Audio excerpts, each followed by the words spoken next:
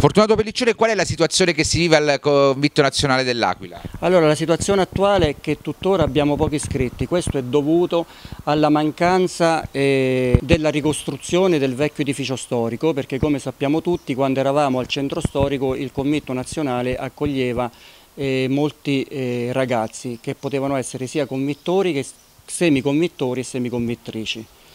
Questa istituzione è una delle più antiche della città, la cui fondazione risale al 1800. Il servizio innanzitutto che svolge il committo è un servizio rivolto a tutte le famiglie, quindi assicuriamo un servizio ai, al, alle famiglie aquilane come, come semiconvittori e semiconvittrici. Dove svolge... Cosa significa, eh, spieghiamo meglio, semiconvittori? Allora, semiconvittori significa che i ragazzi dopo che hanno frequentato la scuola si recano al convitto, qui vengono seguiti nelle attività di studio, eh, mangiano, dove c'è il cuoco che prepara il pranzo al momento e poi fanno i compiti. E vanno via. Oppure si può anche dormire? Si può anche dormire, il servizio è rivolto a convittori, i convittori generalmente sono ragazzi che provengono da fuori provincia o da fuori regione, eh, che per motivi sportivi o per altri motivi decidono di stare qui all'Aquila e qui hanno vitto e alloggio, quindi dormono e, e la mattina si recano a scuola, dopo scuola tornano in convitto.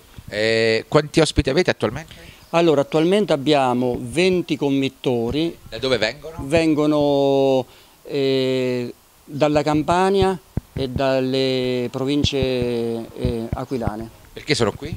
Eh, sono qui sia per motivi sportivi e sia per motivi eh, legati anche al liceo musicale, perché è l'unico che abbiamo in eh, regione. E, ehm, quant'è il costo per una famiglia? Allora, il costo per una famiglia il, eh, per i committori è intorno a 2.000 euro l'anno, quindi se facciamo un conto eh, lo, lo, riportiamo eh, a livello mensile sono 200 euro al mese, mentre per quanto riguarda i semiconvittori pagano 100 euro al mese. Ma beh, ci sono dei limiti di età, ecco chi può accedere a questo allora, servizio? Il, il, servizio di semicommitto è rivolto ai bambini sia delle medie e sia ai ragazzi delle scuole superiori. Per quanto riguarda il committo la stessa cosa, sia ai ragazzi delle medie che ai ragazzi che frequentano la scuola superiore. Eh, quanto paga il fatto di essere qui in periferia? Certo una struttura sicura, un prefabbricato post-sismico, detto MUSP, ma sicuramente non è la sede prestigiosa del centro storico.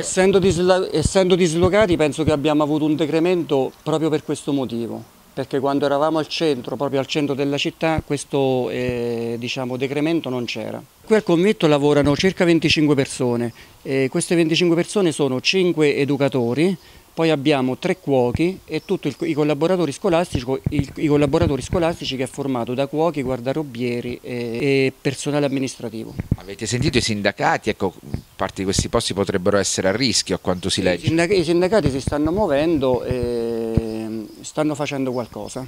L'unica soluzione è quella di incrementare nuovamente le iscrizioni? Esatto, l'unica soluzione è quella di incrementare le iscrizioni e dobbiamo dire che se questa struttura, se questa istituzione esiste ancora dobbiamo ringraziare i convittori, il personale docente e la dirigente scolastica e tutto il personale che è composto da cuochi, infermieri, guardiarobieri.